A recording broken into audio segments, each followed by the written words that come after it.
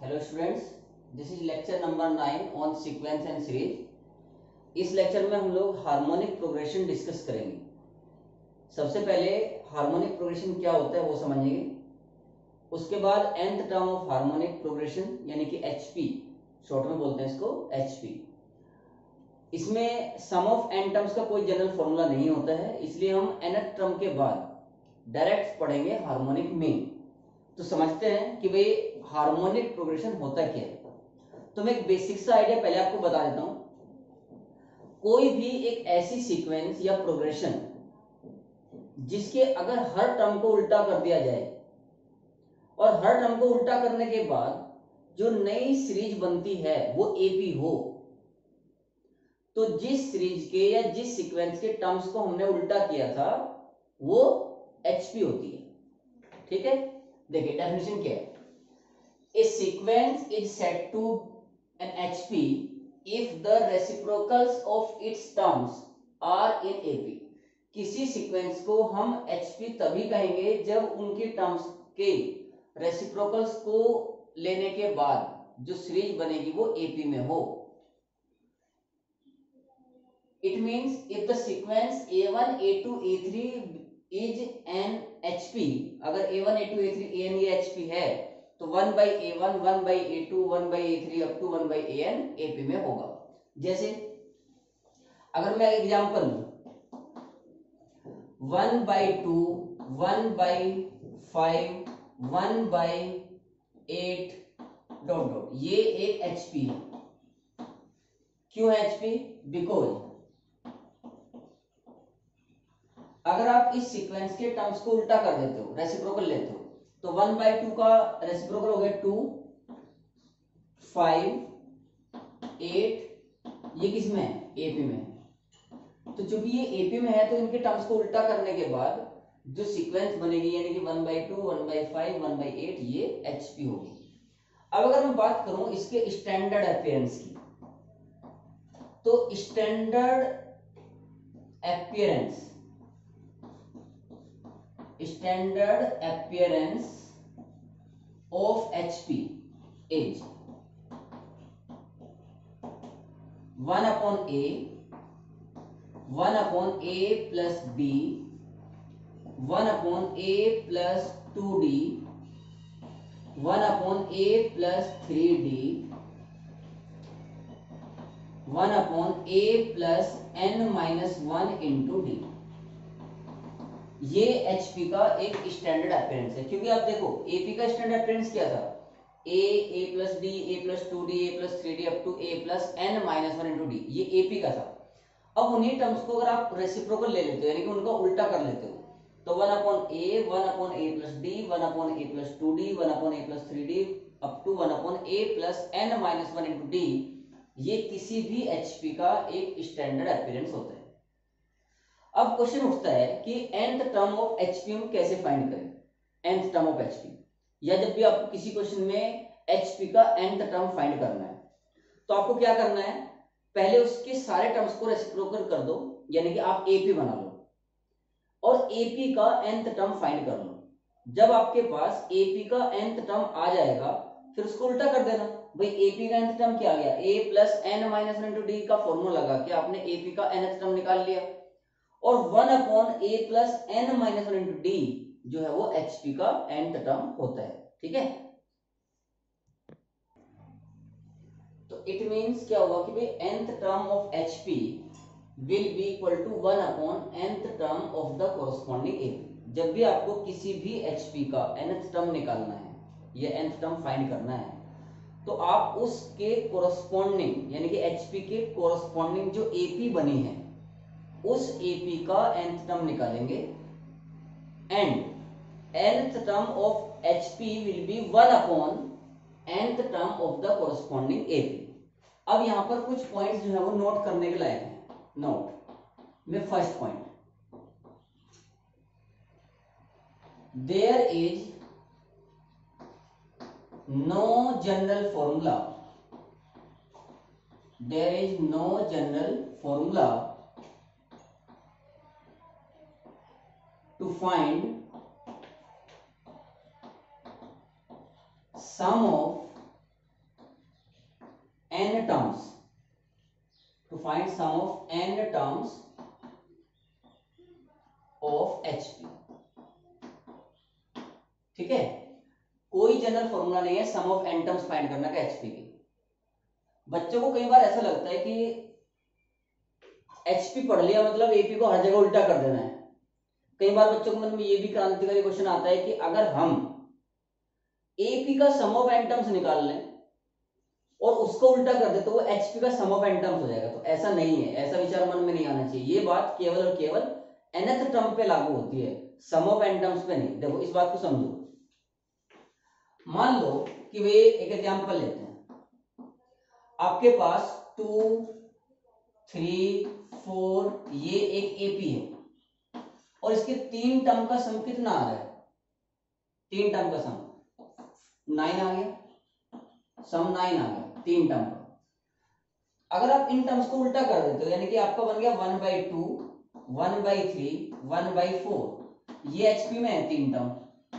ये एचपी में अब अगर आप इनका सम निकालते हो तीन टर्म का, मान लो कि आपको ये ना देखे, इसके लिए दिया होता कि भाई ये एचपी है, इसके तीन टर्म्स का सम बताओ। तो आप क्या करते? इसके कोरस्पॉन्डिंग जो सम निकालोगे वो कितना आएगा? One by two plus one by three plus one by four LCM कितना आ गया? ट्वेल्व एल्सियम ट्वेल्व आ गया। तो ये हो गया six plus four plus three thirteen by twelve अब आप इसके उल्टा कर दो तो कितना आएगा? ट्वेल्व बाई थर्टीन जबकि सम कितना था? नाइन तो ऐसा नहीं करना है कि आप एपी का सम ऑफ़ एंटम निकाल दो उसको उल्टा कर दो। तो उससे आंसर नहीं आएगा। तो पहली बात तो एकदम दिमाग में बिठा लो। There is no general formula to find sum of n terms of H P second point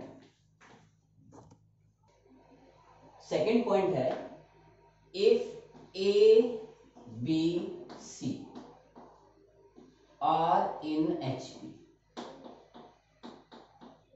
If A, B, C are in HP, then B equal to 2AC upon A plus C. और ये if and only condition होगी आपने जो है AP में पढ़ा था कि अगर एबीसी एपी में है तो B equal to A plus C by two या ऐसे कह लोगे two B equal to A plus C जब एबीसी जीपी में होते हैं तो B square equal to A C और अगर एबीसी एचपी में है तो B equal to two A C upon A plus C होता है। ये कैसे है ये भी समझ लो देखो A B C are in H P इसका मतलब ये हुआ कि one upon A one upon B one upon C are in A ये एपी में होंगे। अगर A B C H P में है तो one by A one by B one by C AP में होंगे। अगर ये एपी में है तो मैंने आपको बताया था बीच वाला का डबल कोने वालों का टोटल यानी कि two into one by B equal to one by A plus one by C तो two by B equal to A C जो है, यहाँ पर एलसीएम आ गया और ये ए प्लस सी हो गया। तो बी की वैल्यू क्या आ गई? B equal to two A C upon A plus C. तीसरी बात, अगर किसी भी सीक्वेंस में कोई टर्म ज़ीरो है, अगर किसी भी सीक्वेंस में कोई टर्म ज़ीरो है तो वो एचपी नहीं हो सकती। मतलब ये हुआ कि एचपी का कोई भी टर्म ज़ीरो नहीं होता। तो ये तीनों पॉइंट आपको बहुत अच्छे से ध्यान में रखने हैं और हम अब आगे बढ़ते the third six and last term of a H P are one by three one by five and three upon two zero three find the number of terms in H P एक HP की आपको third term दी गई है six दी गई है last term दी गई है तो नंबर ऑफ़ टर्म्स पूछे हैं उसमें कितने होंगे? तो हमने मान लिया let A be the first term let A be the first term and d small d be the common difference common difference of corresponding AP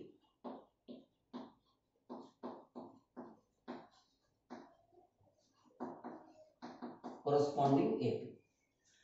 अब क्वेश्चन में बोला गया कि थर्ड टर्म एचपी का जो है वो वन बाई थ्री है। तो थर्ड टर्म एचपी का वन बाई थ्री है it means third term AP का थ्री होगा। तो A plus two D equal to three पहली इक्वेशन एचपी का six term one by five है तो एपी का सिक्स टर्म फाइव होगा। It means A plus five D equal to five इसे आप सेकंड मान लो। इसमें से इसको सपरेट किया तो three D equal to two means D की जो वैल्यू है वो टू बाई थ्री आ गई। डी की वैल्यू टू बाई थ्री और डी हम यहाँ पर पुट करेंगे तो ए इक्वल टू क्या आ जाएगा? A equal to three minus four by three मतलब फाइव बाई थ्री तो ए की और डी की वैल्यू हमें मिल ये एपी का फ़र्स्ट टर्म और एपी का कॉमन डिफरेंस हमें मिल गई अब ये बोला कि जो एचपी है, उसका last term three upon two zero three है। इसका मतलब एपी का last term two zero three upon three हुआ। Last term of corresponding AP will be equal to 203 upon three और लास्ट टर्म का फॉर्मूला क्या होता है एपी का? A plus n minus one into D तो equal to two zero three by three A की value क्या है? ए की वैल्यू है five by three plus n minus one into D की जो वैल्यू है, वो टू बाई थ्री है. Equal to two zero three by three. Three three cancel हो गया। तो n minus one into two equal to one ninety eight ये five इधर हो गया। तो n minus one is equal to ninety nine so n equal to hundred तो number of terms AP में जो है वो हंड्रेड है। तो नंबर ऑफ़ टर्म्स को उल्टा नहीं करते भाई, ठीक है? तो नंबर ऑफ़ टर्म्स जो है वो एचपी में भी हंड्रेड होंगे। यानी कि यही पूछा गया था कि नंबर ऑफ़ टर्म्स बताओ एचपी में। तो वो number of terms is hundred example two the seventh term of the series one by three plus eight by twenty three plus four by eleven plus dot dot तो आप देखो कि अगर हम इन टर्म्स को उल्टा कर लें तो three twenty three by eight eleven by four ये एपी में इसमें से आप इसको सब्ट्रैक्ट कर लो। Twenty three by eight minus three तो कितना आ जाएगा? माइनस का one by eight eleven by four में से आप ट्वेंटी थ्री बाई एट को सब्ट्रैक्ट करते हो तो भी माइनस वन बाई एट आ रहा है। इसका मतलब ये एपी में है। तो टर्म्स को उल्टा करने के बाद एपी बना इट मीन जो गिवन सीरीज़ है वो एचपी है। तो हम क्या करेंगे? इस एपी का सेवंथ टर्म फाइंड करेंगे और उसको उल्टा कर देंगे तो वो हमारे पास एचपी का सेवंथ टर्म आ जाएगा। तो seventh term of AP will be equal to A plus six D A जो है एपी का, यानी कि फ़र्स्ट टर्म वो थ्री है प्लस सिक्स और common difference minus one by eight हो गया three minus six by eight मतलब थ्री बाई फोर मतलब नाइन बाई फोर ये एपी का सेवंथ टर्म आया and hence seventh term of HP यानी कि जो सीरीज़ हमें गिवन है, उसका seventh term will be equal to four by nine clear है एक और बहुत इजी सा एग्जांपल ले लेते हैं. Find the fourth term of an HP whose seventh term is 1 by 20 and thirteenth term is 1 by 38 उस एपी का फोर्थ टर्म बताओ जिसका seventh term one by twenty हो और thirteenth term one by thirty eight है. ठीक है? तो हमने मान लिया कि भाई जो एपी है इसके कोरस्पॉन्डिंग उसका फ़र्स्ट टर्म ए है और D with common difference let A first term and D be the common difference of the corresponding AP. अब चूँकि HP का seventh term one by twenty है तो AP का सेवंथ टर्म ट्वेंटी होगा so seventh term of AP will be equal to 20. It means A plus 6D equal to 20. इसे आप first मान लो A plus six D equal to twenty thirteenth term of H P one by thirty eight है तो thirteenth term of A P will be equal to thirty eight जब आप इसे simplify करोगे तो क्या आ जाएगा? A plus twelve D equal to thirty eight ये सेकेंड इक्वेशन आ गई। सेकेंड इक्वेशन में से फ़र्स्ट को सब्ट्रैक्ट करोगे तो six D equal to eighteen मतलब डी की वैल्यू कितनी आ गई? डी इक्वल टू थ्री और डी थ्री है तो ए कितना आ गया? टू तो ए और डी मिल गया हमें यहाँ से। पूछा है कि भाई फोर्थ टर्म बताओ एचपी का। तो फोर्थ टर्म आप एपी का निकाल लो। Fourth term of AP will be equal to A plus three D A plus three D A की वैल्यू टू है। थ्री डी हो गया नाइन यानी कि eleven so fourth term of H P will be equal to one upon fourth term of the corresponding AP तो one upon fourth term of AP क्या है? One by eleven हो गया, है ना? ये इसका आंसर एग्ज़ाम्पल फोर ये थोड़ा मिक्स प्रोफ़ाइल का है question A B C D being GP and A to the power X equal to B to the power Y equal to C to the power Z equal to D to the power W then prove that X Y Z W are in H P देखो भाई। A B C D GP में है और ये हमें given है। तो हमने मान लिया let A to the power X equal to b to the power y equal to, c to the power z equal to, d to the power w equal to, suppose k है। ऐसा हमने के मान लिया।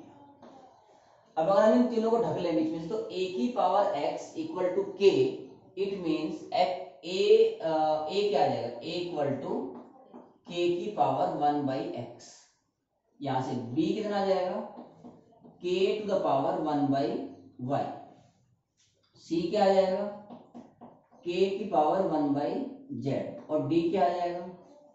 K to the power one by W एक बात तो ये होगी। आल्सो क्वेश्चन बोला गया कि A B C D GP में है। तो B upon A will be equal to C upon B equal to D upon C AP में सॉरी जीपी में ए बी सी डी तो b बाई ए करेंगे, b अपॉन ए तो क्या आ जाएगा? K की power one upon y minus one upon x ये b बाई ए की वैल्यू हो गई. C बाई बी क्या बन जाएगा? C by b k to the power one by z minus one by y और d बाई सी की वैल्यू क्या आ जाएगी? D अपॉन सी करेंगे तो के की power one upon W minus one upon z क्योंकि ये सभी के की पावर्स में है मतलब बेस सेम है, और इक्वल टू लगा हुआ है, इसका मतलब पावर्स विल बी इक्वल तो जब पावर्स इक्वल होंगी तो इसका मतलब one by y minus one by x equal to one by z minus one by y equal to one by W minus one by Z अगर आप इस expression को ध्यान से देखो तो आप इससे निष्कर्ष ये निकाल सकते हो कि one by x comma one by y comma one by z comma one by W are in AP ये एपी में होंगे। और अगर ये एपी में है one by x one by y क्यों है एपी में? क्योंकि देखो, इसमें से इसको सपरेट किया second term minus first term third minus second fourth minus third equal बच रहा है। मतलब ये एपी में है। तो जब आप इनकी टर्म्स को उल्टा करोगे तो एक्स वाई जेड डब्ल्यू किसमें आ गई? एचपी में। यही हमें प्रूफ करना था। एग्ज़ाम्पल फाइव ये बहुत अच्छा क्वेश्चन है और इसके बाद हम एक ऐसा ही क्वेश्चन आपको करने के लिए देंगे। ठीक है? आंसर्स को हम बता देंगे, लेकिन आपको सोल्यूशन बना के देखना है। The value of x into y into z is 55 or 343 by 55 according as a x y z b are in A P और इन एच पी मतलब क्या है? एक्स वाई जेड का प्रोडक्ट 55 होगा अगर a x y z b A P में हो। और एक्स वाई जेड का जो प्रोडक्ट है वो 343 फोर्टी थ्री बाई फिफ्टी होगा अगर a x y z b are in H P find the values of a and b given that they are positive integers ठीक है? तो पहले हम ये मान के चलते हैं। कि भाई a, x, y, z, b are in ap ap में।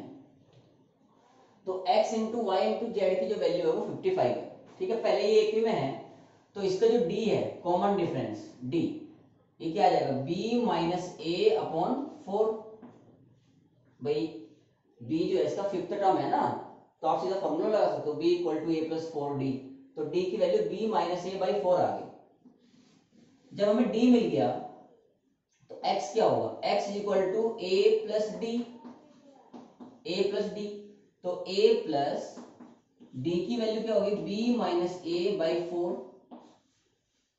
four a तो ये आ जाएगा three a plus b upon four ये आपका x आ गया।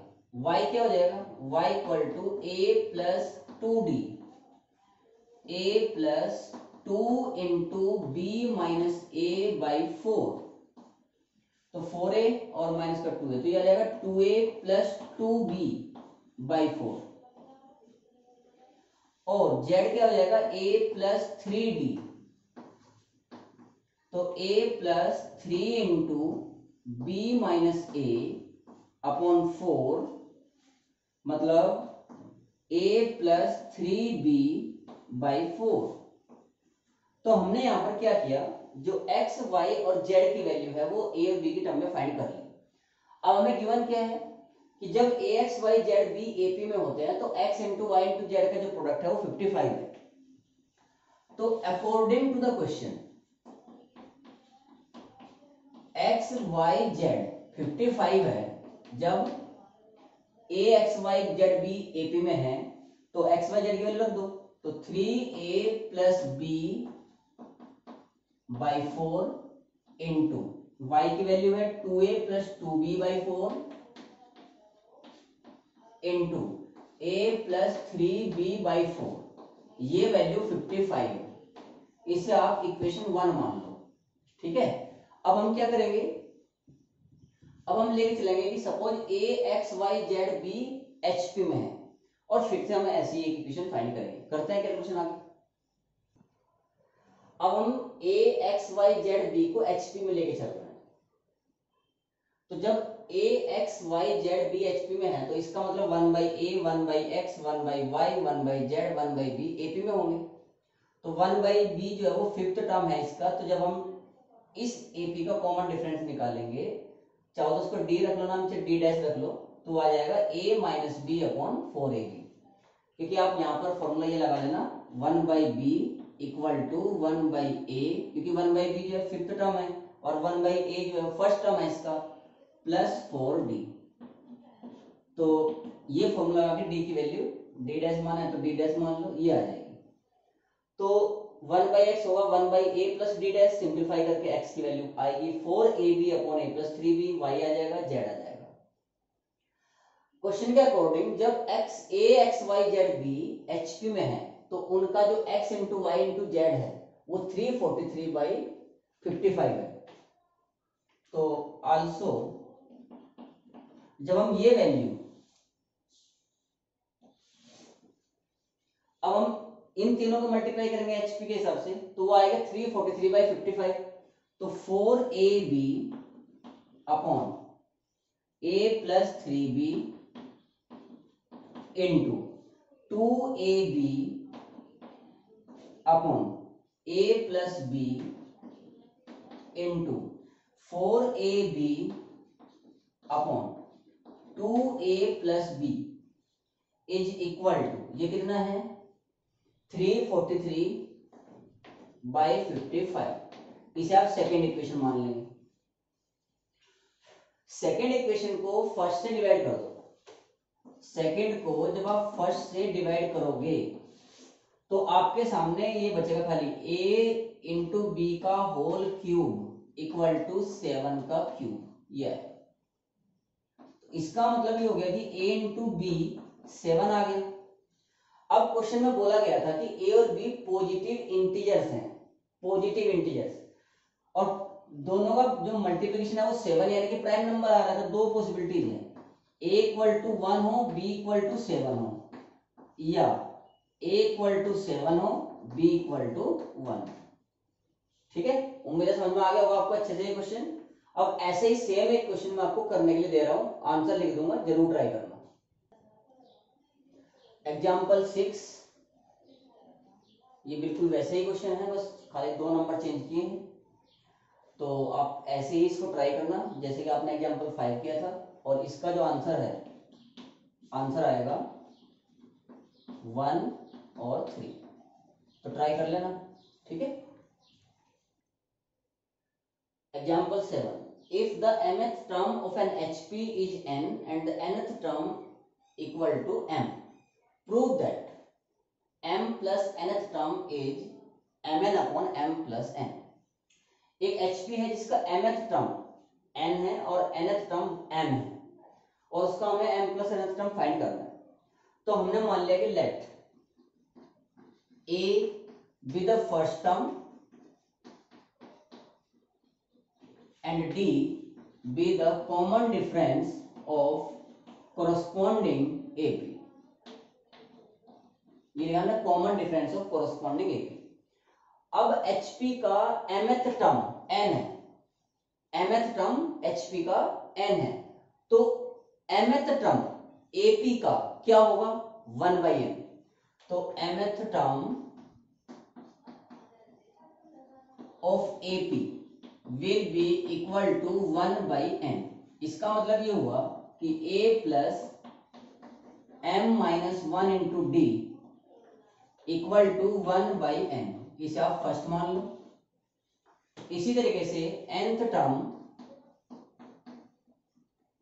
of A P is equal to one by m है तो a plus n minus one into d equal to one by m और याद करो, ये क्वेश्चन हम आप लोगों को लेक्चर वन में सिखा चुके हैं। अर्थमेटिक प्रोग्रेशन में लेक्चर वन में आ गया था ये क्वेश्चन जब हमने nth टर्म ऑफ़ एपी पढ़ा था। तो इन दोनों को सोल्व करने के बाद a की वैल्यू भी वन बाई एम एन आती है और d की वैल्यू भी वन बाई एम एन आती है। ठीक है, ये सोल्व कर लोगे आप इजीली अब पूछे कि m प्लस nth टर्म बताओ hp का। तो m plus nth term of ap बताओ पहले।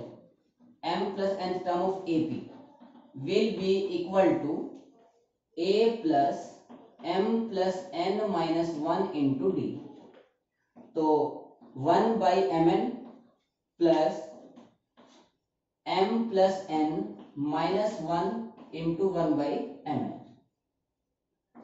तो one by m n plus m plus n upon m n m plus n sorry m plus n upon m n minus one by m n अंदर multiply कर हैं इससे ये cancel हो जाएगा। तो क्या आ गया? M plus n upon m n ये जो m plus n upon m n आया है ये क्या है? This is m plus nth term of AP AP का है ये. तो m plus nth term of the HP क्या होगा? उल्टा कर m n upon m plus n यही हमें प्रूफ करना था. वन मोर एग्ज़ाम्पल ये आई में पूछा भी जा चुका है एक बार। If a one a two a three a n are in H P then prove that a one a two plus a two a three plus a three a four plus up to plus a n minus one a n will be equal to n minus one into a one into a n देखो a one a two a three a n H P में है, इसका मतलब ये हुआ कि one by a one one by a two one by a three, one by a n. ये किसमें होंगे? ए पी में होंगे। इट मीन्स अगर आप सेकेंड टर्म में से फ़र्स्ट टर्म सब्ट्रैक्ट करते हो थर्ड माइनस सेकेंड करते हो तो one upon a two minus one upon a one will be same as one upon a three minus one upon a two will be same as one upon a four minus one upon a three equal, और lastly one upon a n minus one upon a n minus one.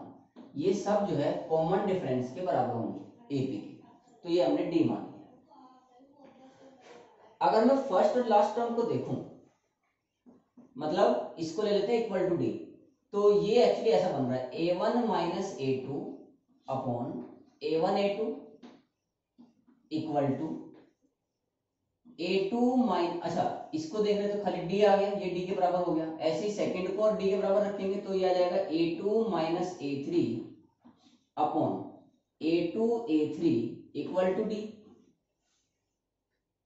यहाँ से आ जाएगा a three minus a four upon a three into a four equal to d और last में a n minus one minus a n upon a n minus one into a n equal to d ये value हमारे पास आ गई। अब जो हमें proof करना है, उसके हिसाब से देखो। ए वन ए टू ये लेफ़्ट हैंड साइड ले लिया हमने। तो a one into a two की वैल्यू क्या होगी? देखो a one into a two को यहाँ ले जाओ डी को इधर ले तो ए वन ए टू की जगह आप लिख सकते हो a one minus a two upon d ये पहली टर्म बन गई आपकी। प्लस सेकेंड टर्म थी ए टू ए थ्री तो ए टू ए थ्री आज देखो a two minus a three upon d plus last में क्या बन जाएगा? A n minus one a n ये बन जाएगा a n minus one minus a n upon d जब आप डी एलसीएम ले लोगे तो ए टू ए थ्री ये सब कट जाएँगे, केवल ए वन और ए एन बचेगा। मतलब ये हो गया a one minus a n upon d ये आ गया। अब क्वेश्चन उठता है कि हमें प्रूफ तो ये करना था। N minus one into a one n तो यहाँ पर आप एक बात देखो। एक बस बहुत छोटी सी बात है। ये one by a one one by a two one by a n AP में है। तो वन बाई ए एन जो है वो इस एपी का एन टर्म है। तो वन अपॉन ए एन को आप लिख सकते हो one by a one plus n minus one into d. इसको उठा के इधर ले जाओ। तो one upon a n minus one upon a one equal to n minus one upon d. तो जब आप इसका यहाँ पर एल्सियम लोगे तो a one minus a n upon a one a n बनेगा, देखो यही चाहिए था। तो क्या आ गया? This is equal to n minus one into a one a n यहाँ से लिंक कर लो। ओके तो यहाँ पर हार्मोनिक प्रोग्रेशन का जो बेसिक इंट्रोडक्शन था, वो खत्म होता है। अब नेक्स्ट लेक्चर में हम लोग हार्मोनिक मीन पढ़ेंगे। हार्मोनिक मीन क्या होता है? क्योंकि जैसे हम आपको बता चुके हैं कि एचपी का सम ऑफ़ एंटम्स का तो कोई फॉर्मूला होता नहीं है। इसलिए हम डायरेक्ट हार्मोनिक मीन पे आएँगे। हार्मोनिक मीन दो नंबर्स का क्या होता है? तीन का क्या होता है? सिंगल हार्मोनिक मीन की बात कर रहे हैं पहले। फिर दो नंबर्स के बीच में एन हार्मोनिक मीन्स इंसर्ट करेंगे। उसके बाद कुछ प्रॉब्लम डिस्कस करेंगे जो अर्थमेटिक मीन ज्योमेट्रिक मीन और हार्मोनिक मीन पे कॉमन होगी। ठीक है? तो आज का लेक्चर यहीं पर समाप्त है। Thank you